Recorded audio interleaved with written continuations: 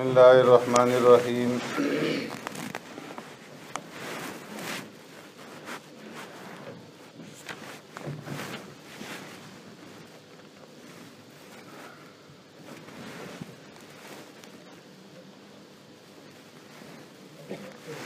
وعن أبي هريرة رضي الله تعالى عنه قال قال رسول الله صلى الله عليه وسلم كل عمل ابن آدم يضاعف الحسنة بعشر أمثالها إلى سبعمائة ضعف قال الله تبارك وتعالى إلا الصوم فإنه لي وأنا أجزي به. يدع شهوته وطعامه من أجلي. للصائم فرحة فرحة عند فطره وفرحة عند لقاء ربه. ولخلوف فم الصائم أطيب عند الله من ريح المسك والصيام جنة وإذا كان يوم صوم أحدكم فلا يرفث ولا يسخر فإن سابه أحد أو قاتله فليقل إني امرؤ صائم متفق عليه. أو كما قال عليه الصلاة والسلام صدق رسول الله صلی اللہ علیہ وسلم. حضرت ابو حریرہ رضی اللہ تعالی عنہ روایت فرماتے ہیں، آقا انعامدار سرور کائنات رحمت العالم صلی اللہ علیہ وسلم نے اشاد فرمایا، ابن آدم کا ہر ایک نیک عمل بڑھایا جاتا ہے، کم از کم دس گنا سے لے کر کے سات سو گنا تک۔ لیکن اللہ تبارک و تعالیٰ ارشاد فرماتے ہیں کہ السوم روزہ اس قانون سے مستثنا ہے۔ فعن نحولی و ان اجزی بھی اس لیے کہ بندے کا یہ روزہ میرے لیے ہے اور میں خود ہی اس کا بدلہ دوں گا۔ یدا شاہوت ہوا تو عام من اجلی وہ چھوڑتا ہے اپنا کھانا اور پینا میری رضا حاصل کرنے کے لیے۔ فرمایا کہ روزے دار کے لیے دو خوشیاں ہیں۔ فرحت و نند فطری، ایک خوشی اسے افطار کے وقت حاصل ہوتی ہے۔ وہ فرحت و نند ربی اور دوسری خوشی اسے رب سے ملاقات کے وقت حاصل ہوگی۔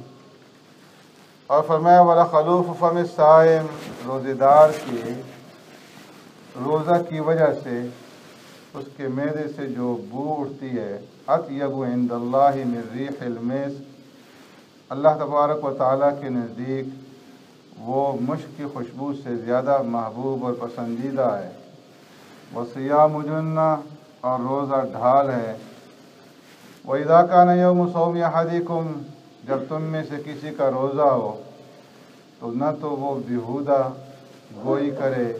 اور نہ ہی گالی گلوچ کرے، آواز کو بلند کرے۔ اور انصاف حد اگر کوئی اسے گالی گلوچ دے اوقات لہو یا اس کے ساتھ لڑائی کرے، تو جواب میں یہ کہہ دے کہ میں روزے دار ہوں۔ اس حدیث مبارکہ میں پیارے پیغمبر صلی اللہ علیہ وسلم نے سب سے پہلے تو نیک اعمال کے بارے میں ایک اصول اور ایک ضابطہ بیان فرمایا کہ اس امت کے اندر جو بھی بندہ کوئی بھی نیک عمل کرے گا، کوئی بھی نیکی کرے گا، تو اللہ تبارک و تعالیٰ نے اس نیکی کا بدلہ کم از کم جو رکھا ہے، وہ دس گنا ہے۔ منجا اب الحسنتی فلاح عشر امثالیہ کہ جو بھی آدمی کوئی ایک نیکی لے کر کے آئے گا، تو دس گنا اللہ رب العزت کی طرف سے اس کے اوپر اجر ملے گا اور ثواب عطا کیا جائے گا۔ یہ ایک ضابطہ ہے عام نیکیوں کے لیے۔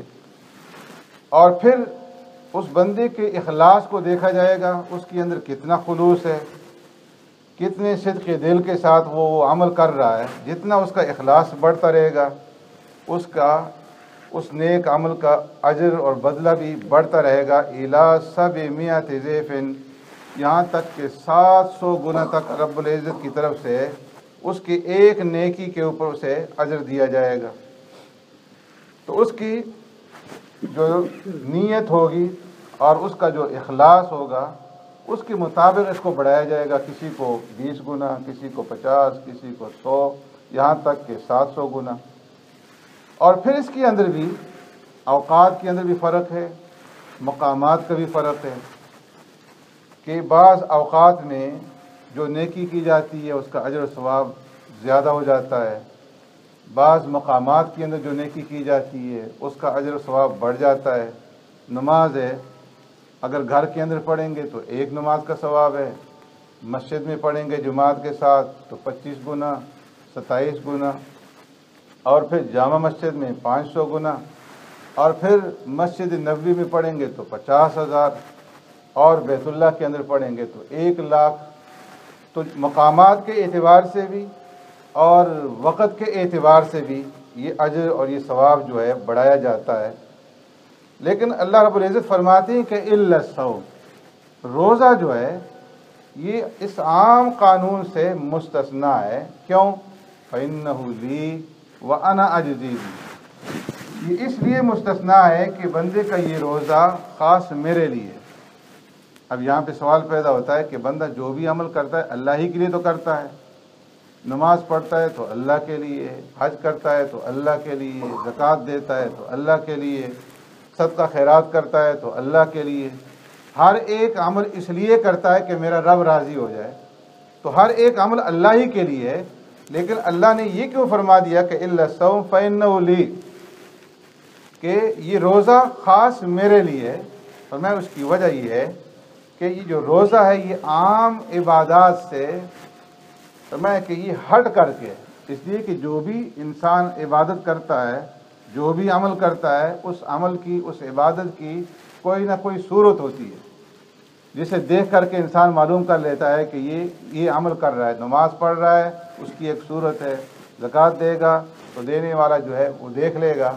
حج کر رہا ہے تو اس کی ایک صورت ہے۔ لیکن فرمائیں کہ روزہ ایک ایسی عبادت ہے کہ یہ صرف راز ہے اللہ کے درمیان میں اور اللہ کے بندے کے درمیان میں۔ یا اللہ جانتا ہے یا وہ بندہ جانتا ہے کہ اس کا روزہ ہے یا نہیں ہے۔ اس لیے فرمایا یداؤ شاہوت ہوا تو من اجلی۔ اس میرے بندے نے اپنا کھانا پینا صرف میری خاطر چھوڑا ہے۔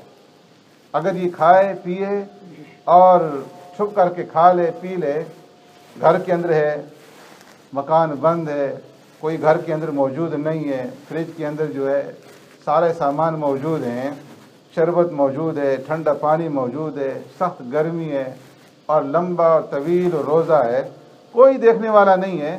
اگر یہ کھا لے، پی لے اور باہر نکل کر کے دسترخوان پہ آ کر کے شام کے وقت بیٹھ جائے روزے داروں کے ساتھ افطاری کرنے کے لیے تو کسی کو بھی معلوم نہیں ہوگا کہ اس کا روزہ ہے یا نہیں ہے۔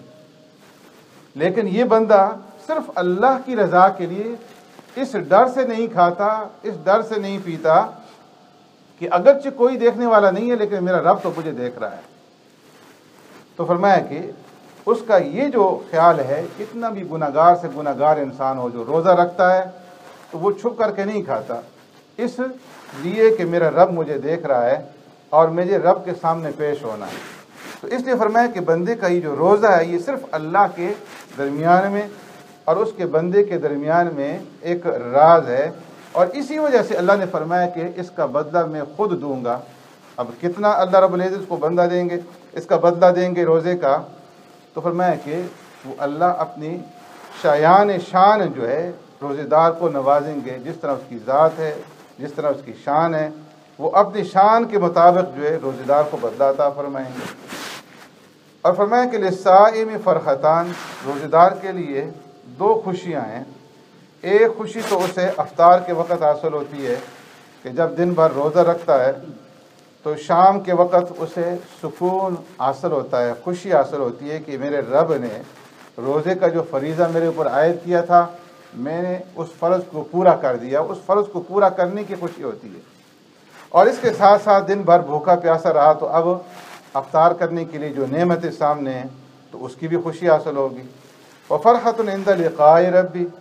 اور دوسری جو خوشی حاصل ہوگی، وہ فرمایا کہ رب سے جب آخرت میں ملاقات ہوگی اور رب جب اس بندے کو نوازیں گے روزہ رکھنے کے اوپر، تو اس وقت اس کو دوسری خوشی، جو عظیم الشان خوشی ہوگی، وہ حاصل ہوگی۔